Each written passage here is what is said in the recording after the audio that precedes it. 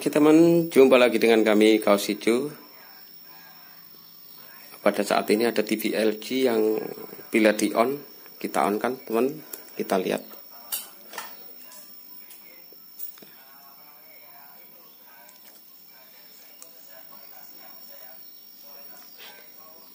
Belum on, oh sudah on teman, nih seperti ini. Gambarnya terlalu biru terus ada garis-garis teman di sini. Nih ada garis-garis.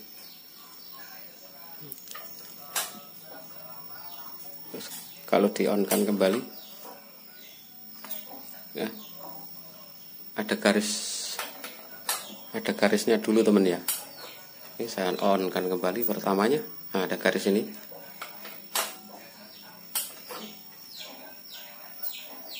Ini ada garis seperti itu tapi dia nyala kemudian di sini banyak garis-garis teman ini. Ada garis-garis seperti ini. Oke TV ini TV LG 21 in. Akan kita buka teman. Tuh gambarnya seperti ini. Tipenya ini teman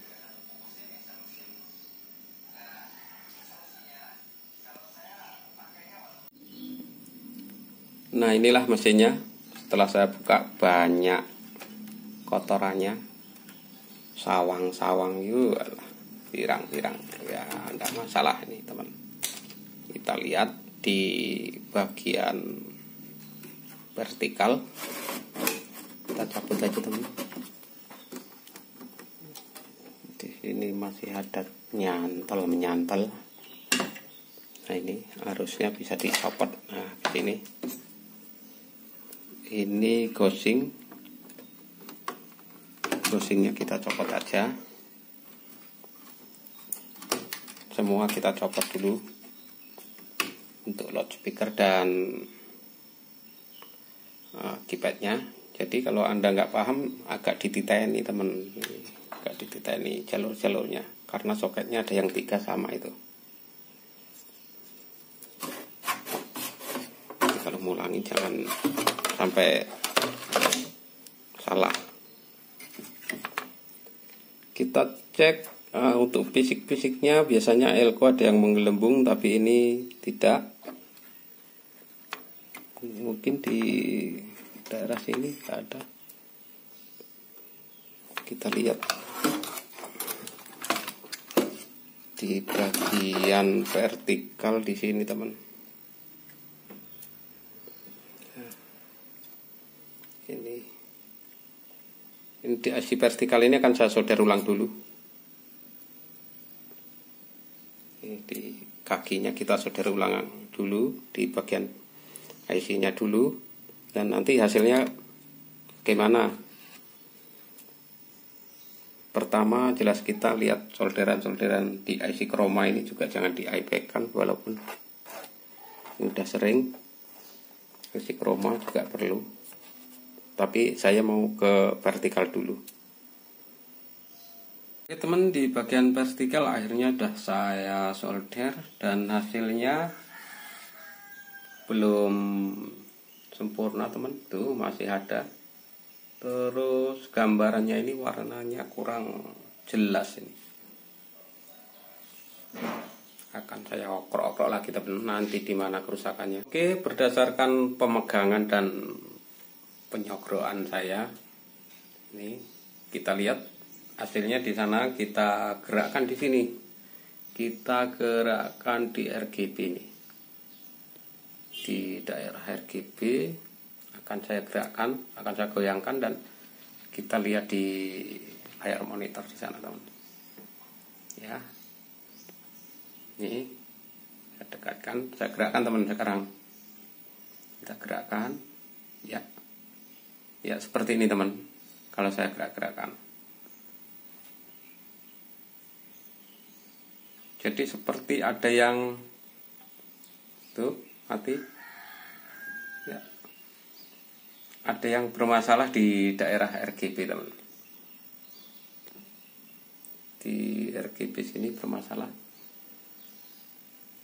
Jadi akan tak gerakan lagi di sini eh kok digerakkan? Disolder ulang juga di daerah RGB-nya teman. Oke sahabat kaos hijau di sini RGB-nya akan saya solderkan di kaki-kaki soket tabungnya. Kita solder dulu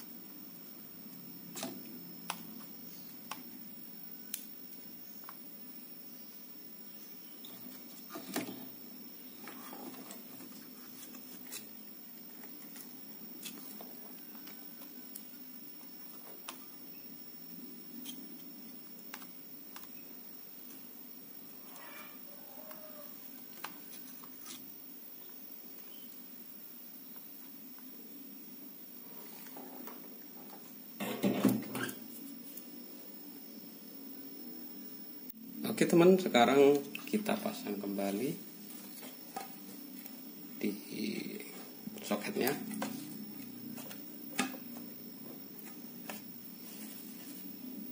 Ya, sudah terpasang dan kita lihat hasilnya setelah kita colok di layar monitor kita lihat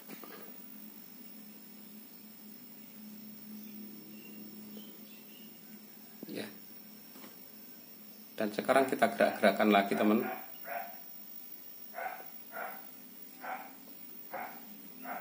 Kepegang apanya sih kok mati?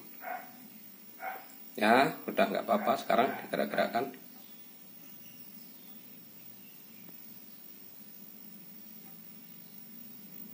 Sudah nggak bermasalah teman setelah digerak-gerakan di sini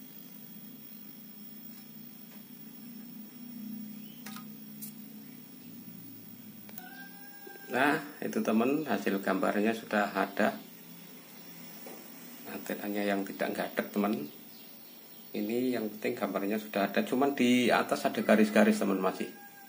Itu di atas ada garis-garis. Nah ini penyakitnya biasanya di vertikal teman. Di vertikal biasanya di, di sini teman ada arus positif. Ini arus positif ini arus ini kalau dicari dari sini arah 26 volt dia masuk ke sini. Dan dia memberikan arus plus di sini. Di 24 eh, voltnya ini. Kemudian di sini ada dioda teman. Ada dioda. Nah, dioda ini akan mempunyai penyetapi lagi elko di sini biasanya. Di sini elko Eh, setelah dioda ini pokoknya ada elko. Nah elko itu yang kita coba ganti teman nah di sini. Carikan elko setelah dioda ini. Masuk ke mana ini? Apakah ini? Biasanya berukuran 100 UF 35 volt ganti aja dengan 100 UF 50 volt akan saya coba. Oke sahabat kaos hijau e, ternyata setelah saya ESR elko yang berukuran 100 UF 35 volt hanya terbaca 2 UF saja. Akan saya carikan uh, elko yang lain. Di sini saya punya elko di sini ada 100 UF 50 volt kita ukur aja ini. Ya sudah saya capitkan di sini 100 UF 50 volt dan hasilnya di sini teman 120 UF jadi kemungkinan besar memang elko ini rusak. Bentuknya masih oke. Okay. fisiknya masih oke okay, tapi eh, polarisasinya eh polaritasnya udah habis. Apa ya namanya? Wah, pokoknya udah habis kosong gitulah orang ngerti itu. Bukan insinyur kitanya. Pokoknya sudah habis ini yang masih oke okay. kalau menurut ukur ini tapi kalau teman-teman uh, sudah paham dengan gejala seperti tadi teman-teman langsung bisa langsung cari di IC ada uh, di IC vertikal kemudian di situ ada elko 100 UF 35 volt kalau masih ori itu biasanya rusak langsung ganti aja ini akan saya gantikan teman, nanti hasilnya kita lihat. Ya, elko-nya sudah saya pasang ini, ini dioda, kemudian ke sini, di sini ada 100 volt. Eh 100 volt, 100 UF teman, 35 volt tak gantikan dengan 50 volt. Kita akan coba hidupkan TV ini dan kita saksikan hasilnya. Yang aku juga belum lihat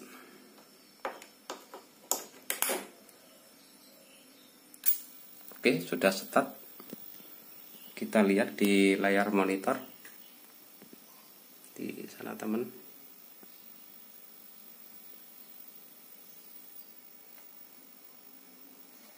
Kita amat-amati garisnya sudah menurun teman, tapi ini gambarnya kok hilang lagi. Oke sahabat kaos hijau sekarang garis yang di atas tadi sudah hilang tuh garisnya sudah hilang. Yang menggaris-garis sudah hilang. Gambarnya sudah normal teman. Ya hanya saya menunjukkan tidak memakai antena yang jernih. Tapi kalau kita cabut tadi ada garis-garisnya biru ya teman-teman. Kita cabut aja. Nanti kita lihat kalau pas warna biru ah blue screennya nggak terpasang. Nggak di mode blue screen. Kita coba aja antena lagi nah ini teman. Jadi sudah oke nih warnanya tidak eh, bergaris-garis lagi sudah oke sekarang. Sudah ketemu ternyata kerusakan tadi di RGB yang gambarnya tidak menjadikan hitam putih atau berwarna bagus.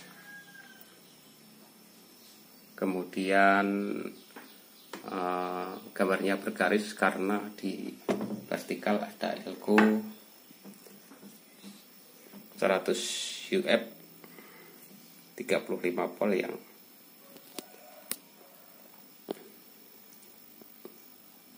yang rusak ini teman dan setelah digantikan sekarang sudah oke okay kembali. Ya.